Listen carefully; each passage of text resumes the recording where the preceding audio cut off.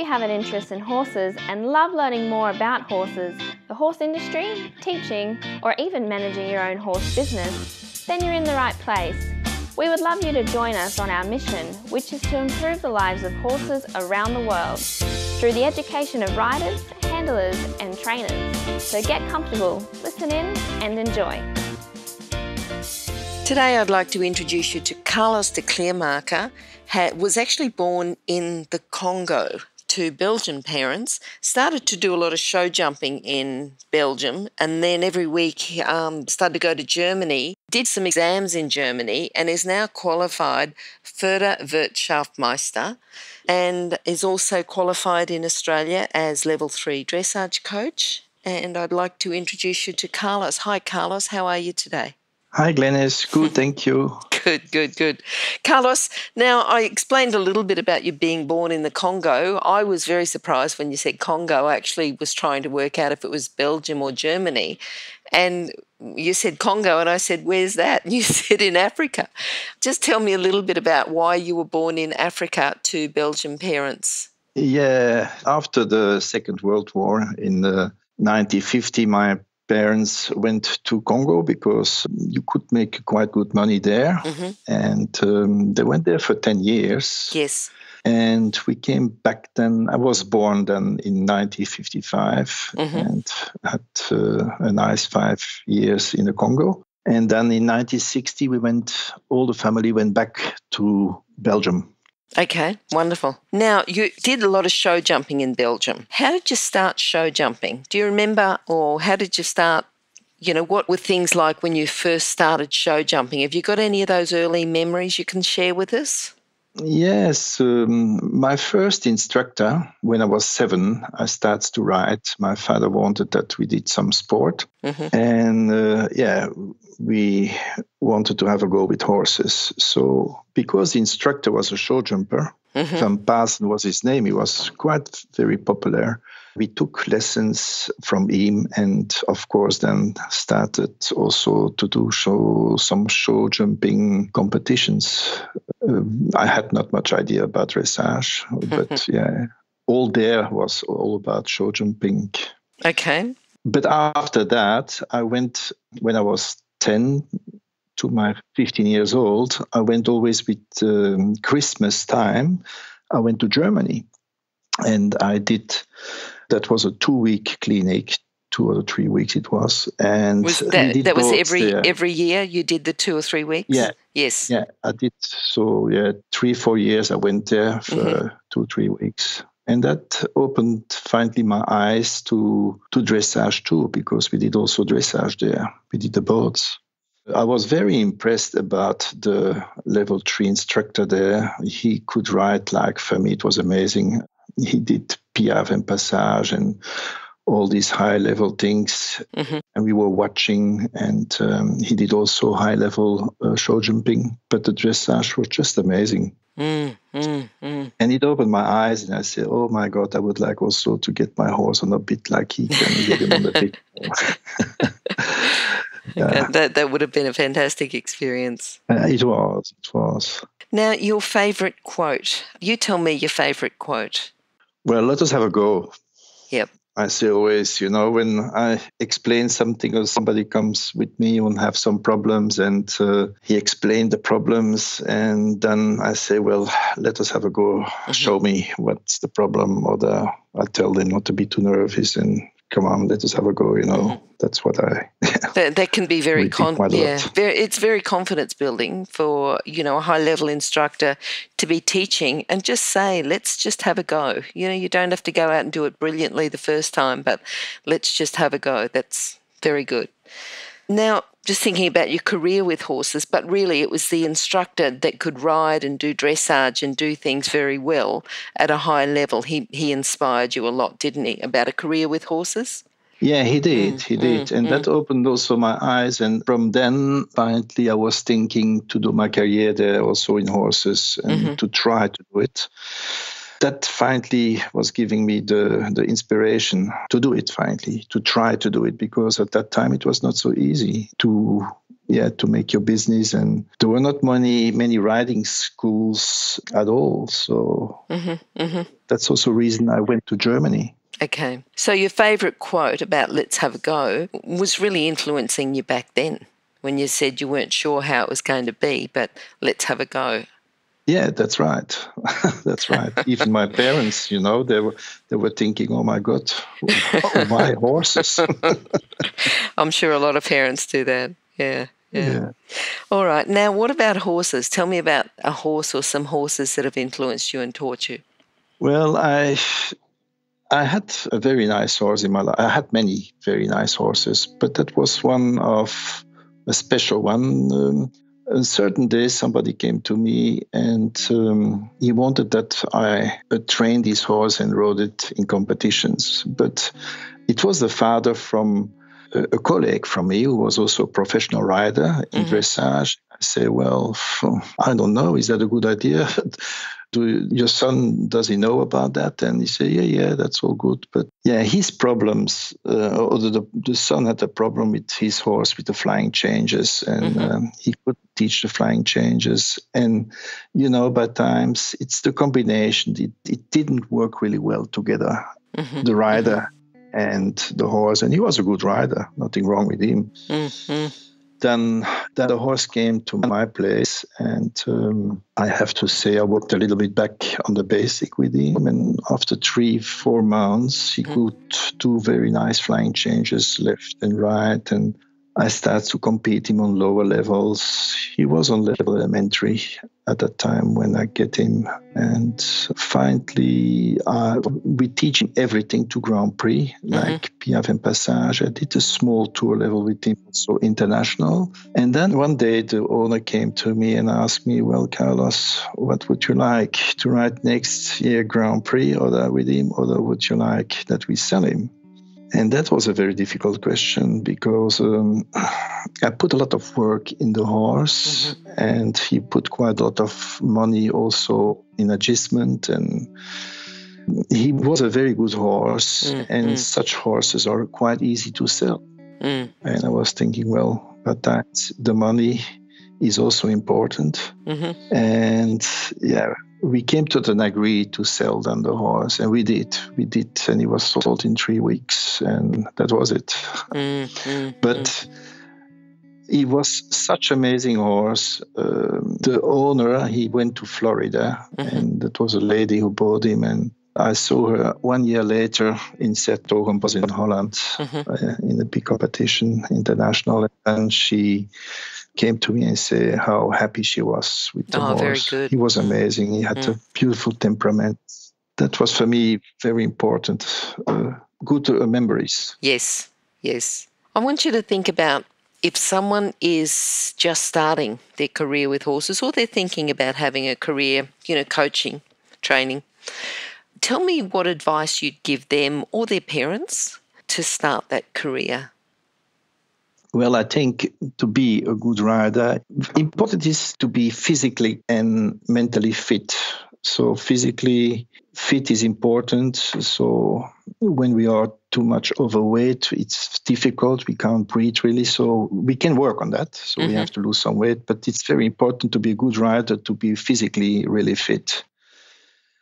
And you just can ride really well when also um, the brains are really there when we mm-hmm. have mentally a little bit difficult we are not thinking good enough or the not thinking much enough by riding and the riding will never be that good than when we are also really concentrated to the horse so i think that's very important mm-hmm. Mm-hmm. and then when we start i think is to have a good instructor mm-hmm. because it's very important for me to learn directly the good things and not first the bad things and then you have to correct that all. That's more difficult. So a good instructor is for me very important who teach you correct seats and teach you the right things to do.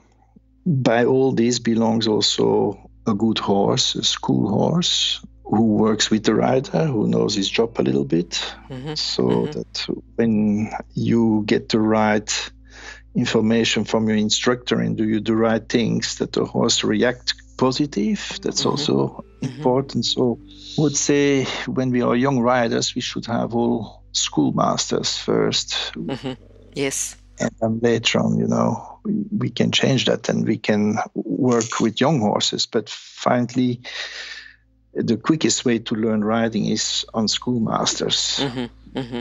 And also very important is the right saddle because if you don't have the right gear and the saddle doesn't fit the horse or the the saddle is not really in balance on the back of the horse, it's very difficult for a rider to sit properly on a saddle who doesn't fit really the horse. So mm-hmm.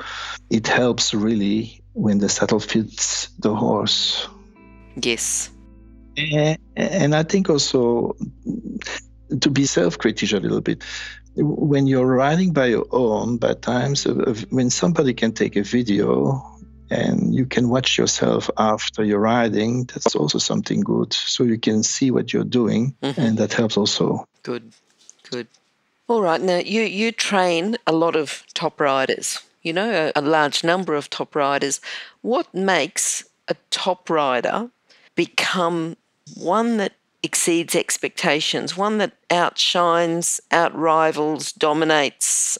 They've got to be talented, but what makes them, gives them that extra edge? I like to train very much good riders because they can follow the instructions and mm-hmm. they can do what you tell them to do and that's a good that's a good thing mm-hmm. And a good top rider I mean, needs also a very good horse. When I see in Australia, we have so much really good talent riders, but times we don't get really to the top because we don't have the right horse for the rider. You know what mm-hmm. I mean? So yes. um, it's not it's not just to have a good horse and to have a good rider who brings you to the top. You you need to be a harmony together and and that brings really a rider to the top. So you needs to be good and then have a very good horse and then teaching and that brings him really to the top. Have you ever seen riders that do have a good horse that just don't quite have what it takes to go further? How, you know, like I, I, know that the horse that you had yeah. that was having trouble with its changes you talked about earlier, what could you have, looking back now and saying to that rider, what could they have done a bit different or a bit just to get them over that bit of a hurdle? Well, when some exercises don't work like a flying change, mm-hmm. then we have to ask ourselves why. There is always a reason. And it doesn't help to do thousand flying changes and they're all wrong and mm-hmm. bad. Mm-hmm. We have to work the basic. So we have to think is the canter good enough? Is the horse sitting enough? Mm-hmm. Is there enough relaxation in the horse to ask a flying change? But times they are so nervous and so tense because they just wait after change. And that's where we have to teach them then not to be nervous, not to be tense, mm-hmm. and teach them to have patience. Mm-hmm. Just asking them a change, perhaps when it doesn't really think about it. Uh, mm-hmm. There are many things that you can fix by really thinking what is wrong and uh, is the basic, is the pace okay.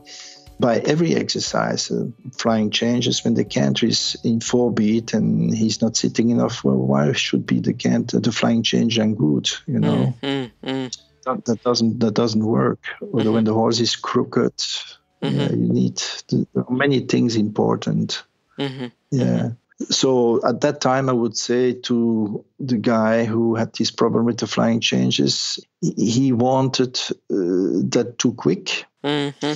Yep. And he was giving the horse so much pressure that the horse was getting very, very tense. Mm-hmm. Mm-hmm and uh, that's why when I when the man was giving me the horse, I needed three months, yes. four months to relax him. Yes. And get the trust back in the horse, in mm-hmm. his canter work. Mm-hmm. And then mm-hmm. the flying changes came automatically. Good, good. Okay, so the trust and the basics going back to the basics. Very important. Absolutely. When when something goes wrong, there is always something wrong in the basics, so we mm. have to think mm. about that. All right. Now, thinking about your career with horses, what is your, I'm going to ask you your proudest moment as a rider and also your proudest moment as a coach? Well, I had with this horse, where we were talking about what with the flying change as well, there is the Belgium Trophy, we call that. It's a very big competition of the small tour level, um, Prix Saint Georges Inter One, mm-hmm. but very big in Belgium because everybody comes there and try to win. And he won this competition, oh, and wonderful. that was mm. I was very happy and very proud about that. And also, I was very proud on a student. I make her Belgium champion young pony riders. Okay. So okay. 16 years old and won the Belgium championships. And uh, that was for me also very, a very good moment. Mm, mm, that's very good. Now, thinking that a lot of the listeners have got their own horses, their own horses. They might have a couple, they might just have one. They might not have a horse. They, they want to improve their riding. So, what I'm looking at is a training tip first of all, for people to improve their riding, but then a training tip that they can train and just as they're riding, just something that they can use to improve a horse that they're riding? First, the rider, when he starts to train a horse, I think it's very important that he enough the time mm-hmm. to teach his horse things. And not, I can see many riders are in a hurry to do things. Mm-hmm and they go too quick in in a level where they are they should not be in that high level they should be perhaps two levels lower but they, they lax i mean australians are really goers they likes you know but you need still to give yourself some patience to get there and mm-hmm. to, to learn everything properly and as i say before it's very important for me as a rider to have many times lessons from a good instructor And working every time on the basic, also on your seat, thinking about your seat, because if you're sitting wrong on the horse, nothing goes right then. Mm-hmm. And every time uh, when you try to teach something and it doesn't work, just go a step back. Mm-hmm. So again, going back. Yeah. Yep. One step back and yep. thinking, how can I do that better? Or the, mm-hmm. I was a little bit too quick mm-hmm. to ask, so I better wait a couple days and then you ask again. Mm-hmm. mm-hmm. Yeah, just giving the time. It's, it's a long way to teach horses uh, to the Grand Prix. And as a rider, you need also many experience. So to take regular lessons by good instructors will help a lot. Yeah, yeah. I'm just thinking, you know, like you're saying, it's a long way for.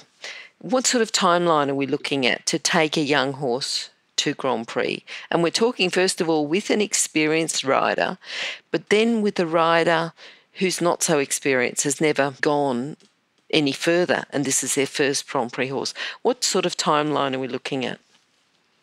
Well, it's difficult to put a timeline on such things because, I mean, an experienced rider who was training more Grand Prix horses in his life, mm-hmm. it will go quicker. But I think we have to give the horses also some time to build their muscles and to be strong enough to keep doing that for a long time. Mm-hmm. Otherwise, we have um, I know that Dr. Reiner Klimke had his horse Ahlerich Grand Prix when he was 7 mm-hmm. but you know that's very fast, and I don't think that is always good. I think when when you have your horse Grand Prix ready when he's 10, mm-hmm. 9, 10 years old, mm-hmm. it's a mm-hmm. good age, I think. Mm-hmm. And I think a young rider who never rode Grand Prix and have talent I always think it's better to for him to buy first a Grand Prix schoolmaster ah, to some yes. competitions mm-hmm, with him. Mm-hmm. Yeah. Yeah. And then try to train it by yourself. Mm-hmm. It's not directly the tricks who are so difficult to ride. We can teach Piaffe and Passage quite quick on students who have some talent. I mean, there needs to be on a certain level to do it. Mm-hmm but it's not that difficult to ride it. It's more difficult to teach that and to be able to teach. To ride a flying change is also easy to explain and to do it, but teaching is another thing. So, and I think also when we start to teach, horse to Grand Prix, we do some mistakes in our life, and then the next one we we try not to do the, this mistake again, and and yeah, and so we get better and better mm-hmm. by experience, you know. Yes, yes. But the best way for me is always go first on a schoolmaster, have this feeling and when you can do a nice Grand Prix on Schoolmaster, well, then you get a little bit the feeling also to teach perhaps a young horse the same stuff, you know. Mm-hmm.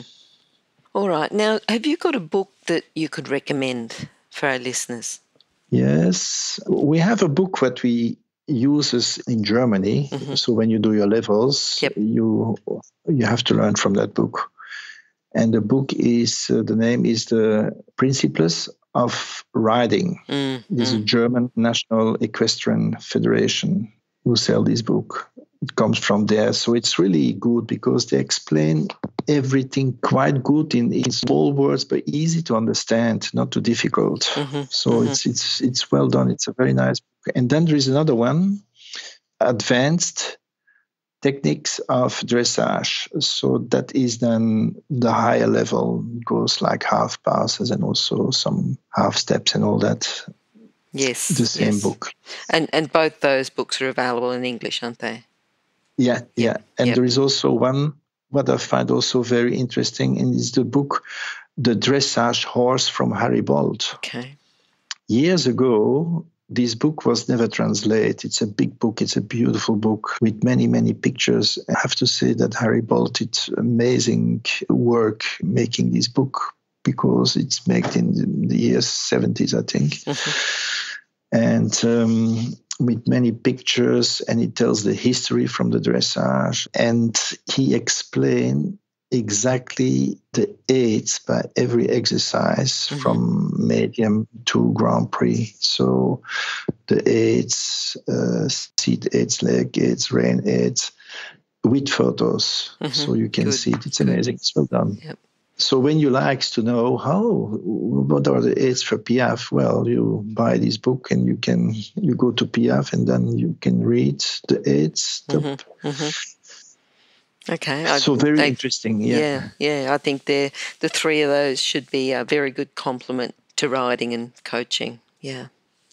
Now, what does your future hold? You've done a lot. You've had a lifetime with horses. You've, you know, ridden, coached, done very well internationally. What does your future hold?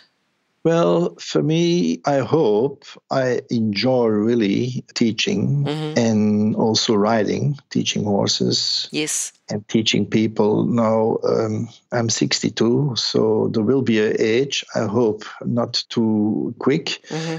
where I have to stop perhaps riding.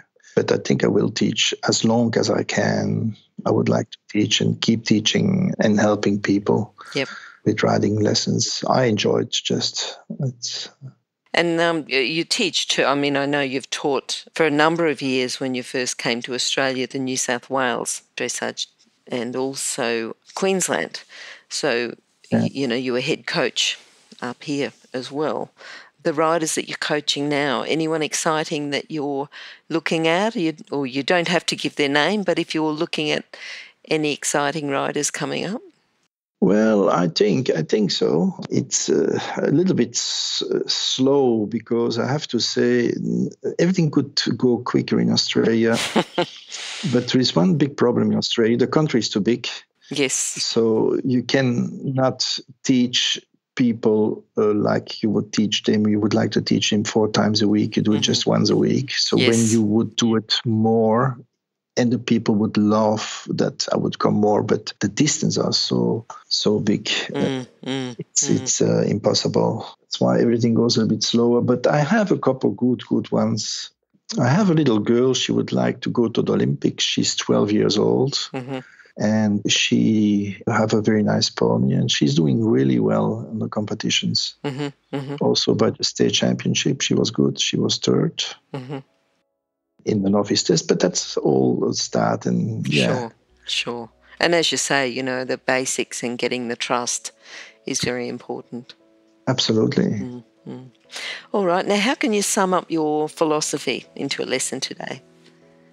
I can give the riders, I would give the riders the advice um, to try to do everything right, not to be in a hurry, mm-hmm. not to go too quick with their horses in the tests. I came back from the state championship and not everything was so good looking because they entered too quick a certain level and the horses are really not ready. Take time and mm-hmm and also in the young horse class, I would say um, the four and the five and the six year old class, when the horse is not ready, it doesn't mean that he is not a good horse because he's not ready, but times horses needs just more time. Mm, mm.